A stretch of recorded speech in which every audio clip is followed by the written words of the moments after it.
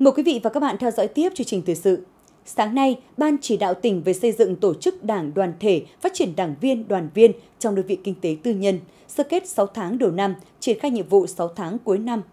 Đồng chí Phạm Văn Khuê, Ủy viên Ban Thường vụ tỉnh ủy, trưởng ban tổ chức tỉnh ủy, Phó trưởng ban thường trực, Ban chỉ đạo tỉnh chủ trì hội nghị. Sự hội nghị có các đồng chí Ủy viên Ban Thường vụ tỉnh ủy. 6 tháng đầu năm, các đảng bộ trực thuộc tỉnh ủy thành lập mới được một tổ chức cơ sở đảng và 13 chi bộ trực thuộc đảng bộ cơ sở, kết nạp được 110 đảng viên, thành lập mới được 28 tổ chức công đoàn, đoàn thanh niên. Nhiều đảng bộ đã có cách làm hay sáng tạo trong việc tuyên truyền vận động để nâng cao nhận thức về tổ chức đảng đến chủ doanh nghiệp – như cải cách các thủ tục linh hoạt trong tổ chức các hội nghị lớp học cảm tình đảng để tạo thuận lợi cho doanh nghiệp vừa tham gia các hoạt động của tổ chức đảng nhưng không ảnh hưởng đến sản xuất của đơn vị.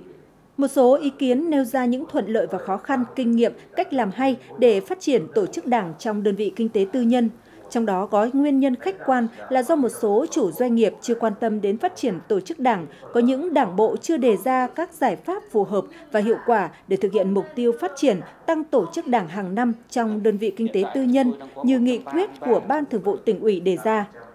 Phát biểu kết luận hội nghị, đồng chí Phạm Văn Khuê, trưởng ban tổ chức tỉnh ủy, đề nghị các đảng bộ tiếp tục đẩy mạnh công tác tuyên truyền tới chủ doanh nghiệp và người lao động để hiểu được vai trò của tổ chức đảng trong doanh nghiệp, đồng thời nên có cách làm hay sáng tạo để vẫn đảm bảo các nguyên tắc của đảng mà không ảnh hưởng đến hoạt động của doanh nghiệp.